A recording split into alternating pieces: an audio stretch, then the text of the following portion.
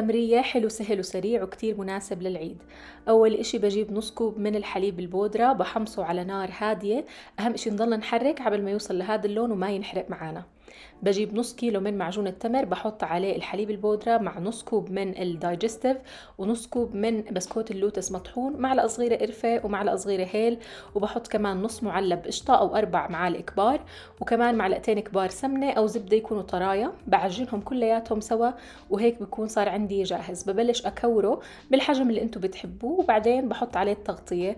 هون حطيت سمسم محمص بسكوت لوتس بتقدروا تحطوا اللي بدكم إياه يعني حسب الرغبة. هون فستق حلبي عشان يكون عندنا هيك ألوان متعددة. كمان بسكوت digestive وجوز هند وكاكاو.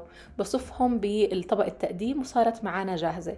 هون هدول الأنابيب جبتهم من Shein حطيت بس فيهم الطحينة هيك كصوص يعني للتقديم.